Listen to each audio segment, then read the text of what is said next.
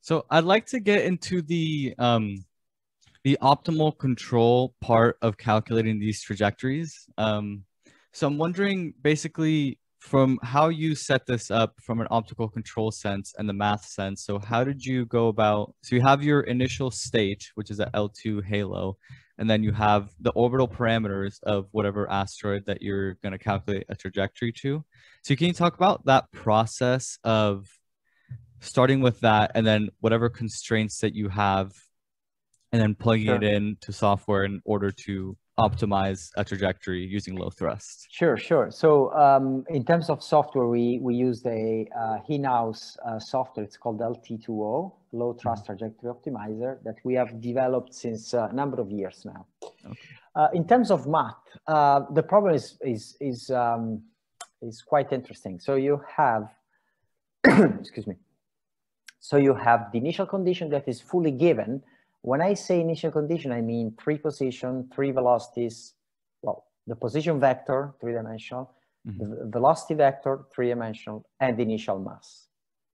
So you have seven numbers that uh, are given at initial time, and you have six numbers that are given at final time, which are final velocity and final position that have to match the one of the asteroid final mass is not given because you don't know how much propellant you will take to get there. Mm -hmm. So uh, this, this optimization problem can be uh, uh, uh, solved by using calculus of variation. In calculus of variation, you have uh, that uh, your um, problem dynamics with your objective function can be mapped into the so-called two-point boundary value problem, which is a problem which you have uh, ordinary differential equations and differently from a standard uh, initial value problem in which the initial condition is fully given at the initial time and you can march forward in order to characterize the solution. In a two-point boundary value problem, you have that the conditions are mixed. Some of them are given at initial time and some of, the, of them are given at final time. Moreover, the dimensionality of the problem increases because uh, instead of the seven uh, equation of motion, three for the position, three for the velocity, and one for the mass, you have 14 uh, dimensional uh, problem because attached to these seven components of the state, you have seven components of the so-called of the so-called co-state or Lagrange multiplier. Mm-hmm. So vector of co-states of Lagrange or Lagrange multipliers. So at the end of the day, you have 14 differential equations, 14 differential equations with seven conditions given at initial time, six conditions given at final time, which sums up to 13, you need another condition, otherwise the problem is ill-posed.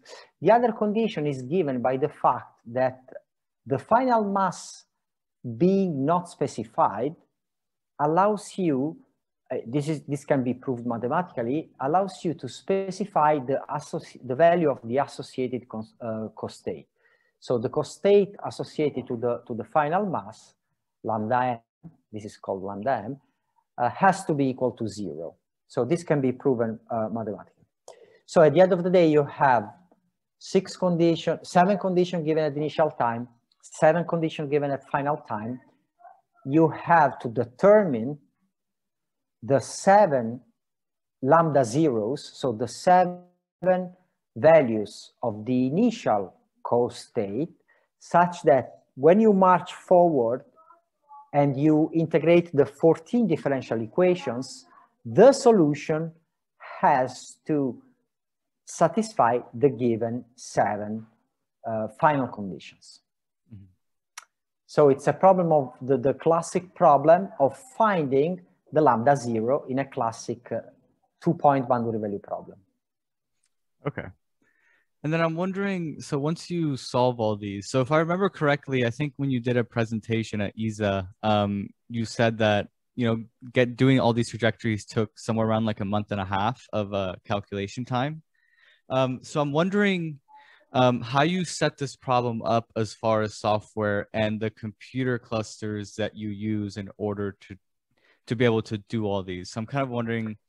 Yeah, the, the key the key was uh, the key here was parallelization. So the problem could be uh, easily, I would say, parallelized because you have that each search to a given uh, to a given target was independent from the search to the other target. Of course, they were they were totally independent. Mm-hmm. So the key was to parallelize the process and uh, to use one processor for a given a given target.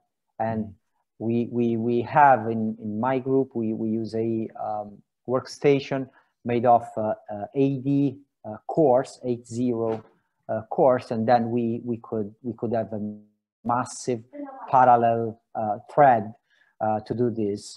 But despite that, uh, if you want to solve the problem with a quite good level of fidelity and resolution, moreover, uh, then you need quite some time because because it, uh, it, it, it's quite heavy and you have also to do some other tricks in terms of uh, numerical continuation and and so on and so forth. Because once you solve once you solve a problem for a given departure epoch and transfer time, to move to next uh, grid point, you don't start from scratch, but rather you exploit the knowledge that you have gathered uh, by solving the previous problem, and you actually use that solution as initial guess for next point. This is called numerical continuation, and we uh, massively exploited that in, in our search.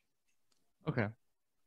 And then I'm wondering kind of the fidelity of the equations of motion or the, um, the perturbations. So in the initial run, when you had around a few hundred asteroids, did you use a full fidelity um, like solar system model where you have the gravitational perturbations?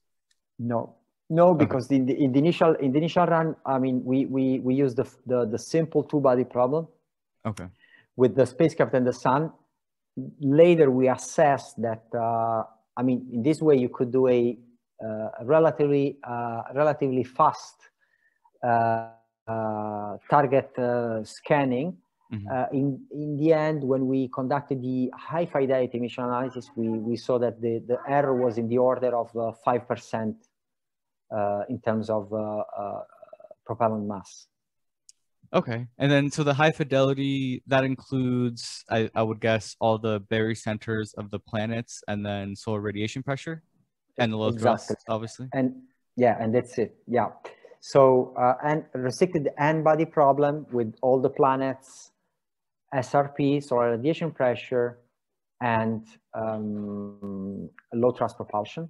For the case of M-ARGO, since it's uh, it's uh, a, a uh, high power um, mission mm. for, for a CubeSat, the area to mass ratio is, uh, is quite high and therefore the, the contribution of the SRP is relevant, cannot be ignored.